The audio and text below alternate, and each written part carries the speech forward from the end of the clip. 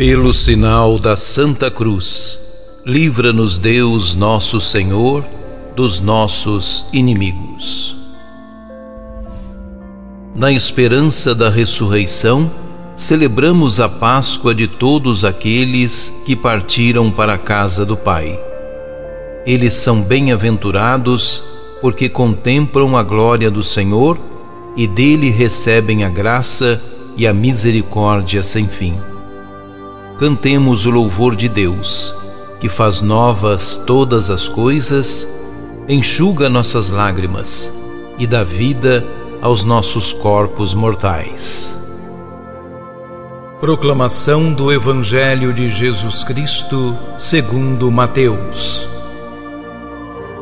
Naquele tempo, vendo Jesus as multidões, subiu ao monte e sentou-se.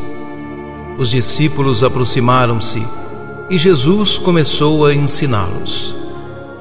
Bem-aventurados os pobres em espírito, porque deles é o reino dos céus. Bem-aventurados os aflitos, porque serão consolados. Bem-aventurados os mansos, porque possuirão a terra. Bem-aventurados os que têm fome e sede de justiça, porque serão saciados. Bem-aventurados os misericordiosos, porque alcançarão misericórdia. Bem-aventurados os puros de coração, porque verão a Deus.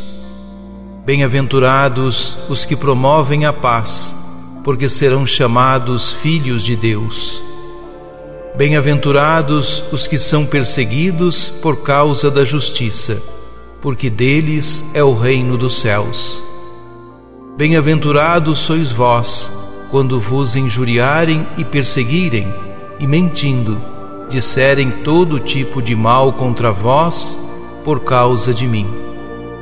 Alegrai-vos e exultai, porque será grande a vossa recompensa nos céus.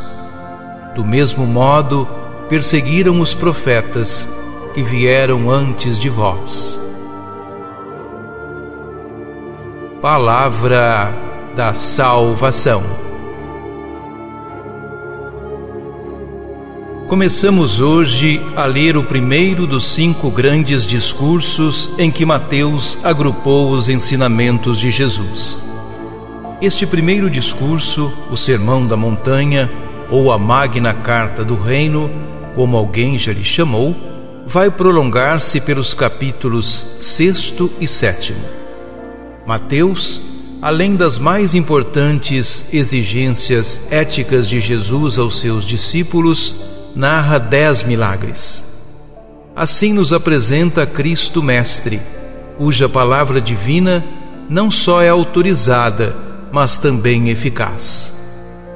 Mateus apresenta Cristo como novo Moisés, aquele que promulga a nova lei, sobre o Monte das Bem-aventuranças de que o Sinai fora antecipação.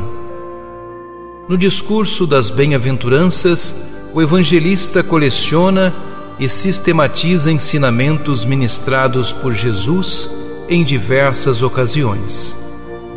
Assim seria mais fácil e prático utilizá-los na pregação e no ensino da Igreja. A expressão pobres em espírito, ainda que não se encontre no Antigo Testamento, reflete um aspecto fundamental do mesmo: a expectativa do reino por parte dos pequenos e humildes. Estes hão de possuir a terra e, portanto, o reino, que começa já agora. Por isso é que é deles é o reino do céu. A consolação é apresentada como um traço característico de Deus e dom messiânico por excelência. O próprio Cristo se considera consolador e a esse título anuncia o dom do Espírito Santo. O termo justiça indica o reto cumprimento da vontade divina, realizado com entusiasmo e determinação, fome e sede.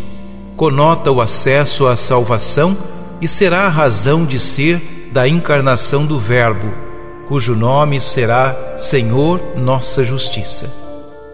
A expressão coração puro é recorrente na Sagrada Escritura e é sinônimo de coração simples. O homem de coração puro verá a Deus, não nesta terra, mas nos céus, onde o veremos tal qual é, face a face. Obreiro da paz é o próprio Deus, tantas vezes definido como Deus da paz. A perseguição por causa da justiça não é outra coisa senão o preço a pagar pela coerência e pelo testemunho evangélico. Oremos. Jesus, tua presença mostrou ao mundo o rosto misericordioso do nosso Deus. Dá-nos a graça de nos compadecermos dos sofredores de nosso tempo, dos que estão perto ou distante, secando suas lágrimas e buscando dar-lhes a alegria de viver.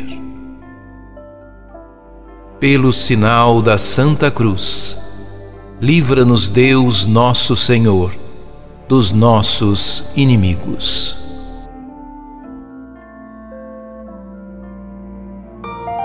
Ajude-nos a evangelizar. Se inscrevam em nosso canal, ativem o sininho, dê o joinha em nossos vídeos e compartilhem a palavra de Deus.